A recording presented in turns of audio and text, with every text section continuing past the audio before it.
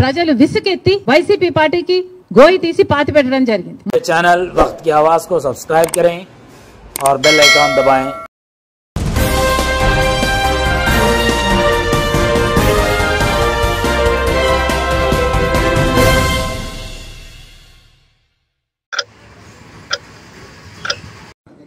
రాజశేఖర్ రెడ్డి గారి ఫోటోను ఇక్కడ అక్కడ పెట్టుకుంటే సరిపోదయ్యా. ఇక్కడ ఉండాలి. ఇక్కడ ఉంటే రాజశేఖర్ రెడ్డి గారి ఆశయాలు ఈ రోజు నిలబడిండు. ఇక్కడ లేదు కాబట్టే రాజశేఖర్ రెడ్డి గారి జలయజ్ఞాన్ని గాల్లో వదిలేశారు. రాజశేఖర్ రెడ్డి గారి ఫీజు రీఎంబర్స్మెంట్ గాల్లో వదిలేశారు. ఇక్కడ లేదు కాబట్టే రాజశేఖర రెడ్డి గారి ఆరోగ్యశ్రీకి కూడా బాకీలు పెట్టారు. రాజశేఖర్ రెడ్డి గారు అంతగా చెప్పుకుంటున్నారు కదా.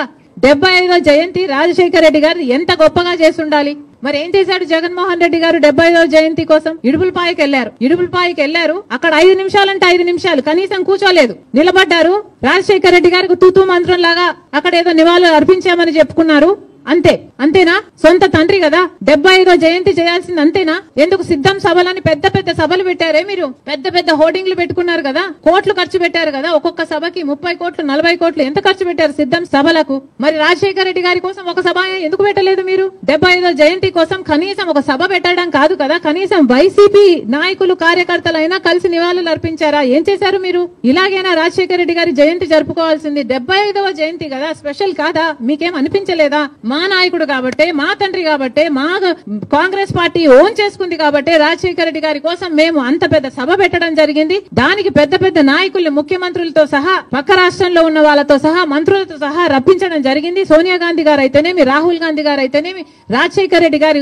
కోసం అంత గొప్ప గొప్ప మెసేజ్లు ఇప్పించడం జరిగింది. ఇవన్నీ మేం చేశాం. మీరేం చేశారండి? మీరా రాజశేఖర రెడ్డి గారి వారసులు? ఏం చేశారు మీరు రాజశేఖర రెడ్డి గారి డెబ్బై ఐదవ జయంతి కోసం? ఈ రోజు రాజశేఖర రెడ్డి గారు ఉమ్మడి ఆంధ్ర రాష్ట్ర నాయకుడిగా రెండు సార్లు గెలిచిన నాయకుడు. అలాంటి నాయకుడికి రాజకీయాలు ఆపాదిస్తూ ఈ రోజు రాజశేఖర రెడ్డి గారి విగ్రహాలను ధ్వంసం చేస్తున్నారు టీడీపీ గుండాలు. ఇది ఎక్కడి న్యాయమని అడుగుతున్నాం. రాజశేఖర రెడ్డి గారు మన రాష్ట్రం కోసం ఎన్నో అద్భుతమైన పథకాలు చేయడం నిజం కాదా? మన రాష్ట్ర ప్రజల కోసం తాను బతికినంత కాలం సేవలు చేస్తూ పోరాటాలు చేస్తూ బతకడమే కాకుండా చచ్చిపోయేటప్పుడు కూడా ఆఖరికి రచ్చబండకని వెళ్ళి ప్రజల కోసం తప్పించి చనిపోయిన మాట వాస్తవం కదా. మరి అలాంటప్పుడు అంత పెద్ద మనిషి అంత మంచి మనిషి అయిన రాజశేఖర రెడ్డి గారి విగ్రహాల జోలికి తెలుగుదేశం పార్టీ వాళ్ళు ఎందుకు వెళ్తున్నారో చంద్రబాబు గారు వాళ్ళ నాయకులు సమాధానం చెప్పాలి. రాజశేఖర రెడ్డి గారు ఏదో వైసీపీ నాయకుడు అన్నట్టుగా వ్యవహరించడం జరుగుతుంది. వైసీపీ వాళ్ళు హత్యా రాజకీయాలు చేస్తుండొచ్చు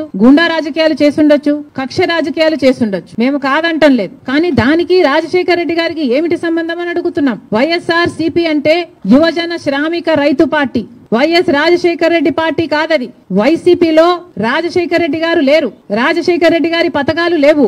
రాజశేఖర రెడ్డి గారి ఆశయాలను నిలబెట్టే వాళ్ళు లేరు. మరి అలాంటప్పుడు రాజశేఖర రెడ్డి గారి విగ్రహాలను ఎందుకు పగలగొడుతున్నారో తెలుగుదేశం పార్టీ వాళ్ళు ఒకసారి ఆలోచించాలి. రాజశేఖర రెడ్డి గారిని ఆయన ఆశయాలని నిలబెట్టే వాళ్ళే అయితే రాజశేఖర రెడ్డి గారు తలపెట్టిన జలయజ్ఞంని జగన్మోహన్ రెడ్డి గారు ఎందుకు విస్మరించారు? రాజశేఖర రెడ్డి గారు తన ప్రాణం కంటే ఎక్కువ నేను ఇందుకోసమే పుట్టాను జలయజ్ఞం కోసమే పుట్టాను అని రాజశేఖర రెడ్డి గారు. అంతగా జలయజ్ఞం కోసం తప్పిస్తే జగన్మోహన్ రెడ్డి గారు ఆరు నెలల్లో జలయజ్ఞం మొత్తం పూర్తి చేస్తానన్న జగన్మోహన్ రెడ్డి గారు కనీసం ఒక్క ప్రాజెక్టు కూడా ముట్టుకోలేదు. మరి వైసీపీలో రాజశేఖర రెడ్డి గారు ఉన్నారో లేదో ఆలోచన చేసుకోవాలి. రాజశేఖర రెడ్డి గారి ఎంతో ఇష్టమైన ఫీజు రీఎంబర్స్మెంట్ ఇలాంటి పథకాలకు కూడా వైసీపీ ఈ రోజు వరకు కూడా అధికారంలోంచి దిగిపోయే రోజు వరకు కూడా నాలుగు వేల కోట్లు బాకీ పడింది. చిక్కీలకు స్కూల్ యూనిఫామ్లకు ఆఖరికి కోడిగుడ్లకు కూడా బిల్లులు కట్టలేదట. మరి అలాంటప్పుడు రాజశేఖర రెడ్డి గారి ఆశయాలను నిలబెట్టే పార్టీ?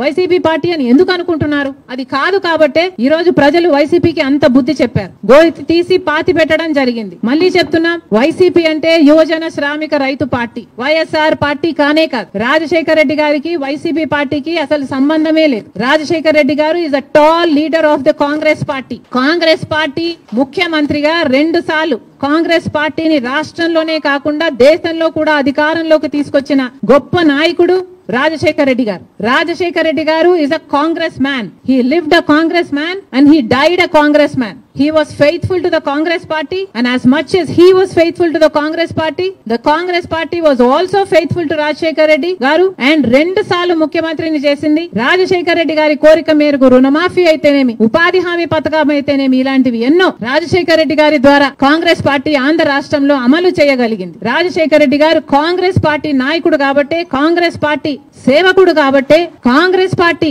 ఎలా ఆలోచన చేస్తుందో అలా ఆలోచన చేశాడు కాబట్టే అంత అద్భుతమైన పథకాలు. ఫీజు రీఎంబర్స్మెంట్ అయినా ఆరోగ్యశ్రీ అయినా ఇందిరమ్మ ఇళ్ళ పథకం ఇలాంటివి ఎన్నో పథకాలు. బీదవారి కోసం అట్టడుగున ఉన్న వర్గాల కోసం రాజశేఖర రెడ్డి గారు చేయగలిగారు అంటే ఇవన్నీ కాంగ్రెస్ మ్యాన్గా రాజశేఖర్ రెడ్డి గారు చేశారు. మళ్ళీ చెప్తున్నాం ఈ రోజు కాంగ్రెస్ మ్యాన్గా రాజశేఖర్ రెడ్డి గారు నిలిచారు బతికారు అలాగే చచ్చిపోయారు. మళ్ళీ చెప్తున్నాం రాజశేఖర్ రెడ్డి గారు is a Congress man Telugu Desam party నాయకుల్ని కార్యకర్తలకి అందరికీ కూడా హెచ్చరిస్తున్నాం. రాజశేఖర్ రెడ్డి గారి విగ్రహాల జోలికి వెళ్ళకండి. వైసీపీకి వైఎస్ఆర్కి సంబంధం లేదు. యువజన శ్రామిక రైతు పార్టీ జగన్మోహన్ రెడ్డి గారి పార్టీ. రాజశేఖర్ రెడ్డి గారు is a Congress man Rajasekhar Reddy గారి విగ్రహాల జోలికి మళ్ళీ వెళ్ళారు అంటే నేనే వెళ్ళి ఆ విగ్రహాల దగ్గర ధర్నా చేస్తా. ఏ ఊర్లో మీరు బద్దలు కొడతారో ఆ ఊరికి వచ్చి ఊరి ఊరికి వచ్చి నేను ధర్నాలు చేసి మిమ్మల్ని బద్నాం చేస్తాం. అంతేకాదు మీరు గుర్తుపెట్టుకోవాల్సిన విషయం ఏమిటంటే ఇదే హత్య రాజకీయాలు ఇదే కక్ష రాజకీయాలు ఇదే గుండా రాజకీయాలు వల్ల ప్రజలు విసుకెత్తి వైసీపీ పార్టీకి గోయి తీసి పాతి పెట్టడం జరిగింది. మళ్ళీ అదే తెలుగుదేశం పార్టీకి జరగకుండా చూసుకోండి.